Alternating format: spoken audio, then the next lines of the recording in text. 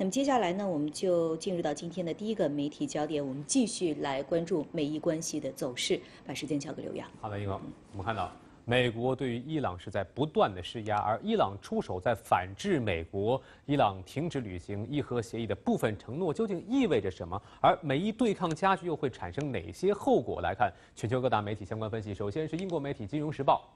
伊朗给予强硬反击。我们看到，美国退出伊核协议一周年之际，伊朗总统鲁哈尼宣布说，伊朗要部分退出该协议了。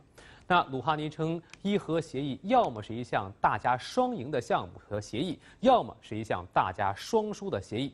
而伊朗人呢，仍然是致力于外交手段，但是会用一种新的话语和逻辑。那他坚称说，伊朗不会发动任何的战争，也不会离开谈判桌。舆论就认为说，如果不能对美国的行动进行反制，不能够有效的来维护伊朗的利益的话，那伊核协议可能要面临的是瓦解。再来看俄罗斯媒体卫星通讯社，伊核协议前景堪忧。看到在美伊较量当中呢，简单的退出伊核协议对于伊朗本身并没有好处，伊朗的处境将会更加的困难。法国坚持要让伊朗核协议继续生效，他同时警告德黑兰方面，若不遵守核协议，将对其重启制裁，恐将被摆上谈判桌了。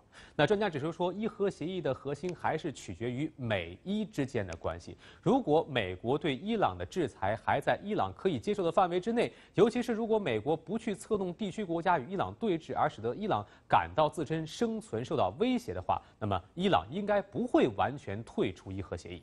再来看法国媒体，法国的国际广播电台，美国升级对伊施压，在伊朗做出强硬回应的同时，美国国务卿蓬佩奥临时取消了和德国总理默克尔见面的行程，是突然造访伊拉克首都巴格达。那蓬佩奥就说，他之所以会花四个小时访问伊拉克，是因为伊朗动作频频而发动攻击的威胁是十分明显的。德黑兰是美国的敌人，但却是邻国伊拉克的盟友。分析就称说，美国其实是在想把伊朗塑造成为地区的威胁，从外交层面在中东地区进行进一步的孤立，来孤立伊朗。那许多人担心说，美国正在试图引发与伊朗方面的战争。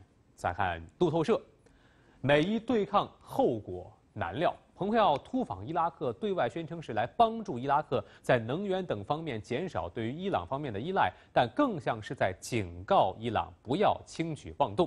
对于美国的举动呢，欧洲多国一直是持批评态度，但是由于欧盟和美国处于不平等的位置，影响手段是有限的。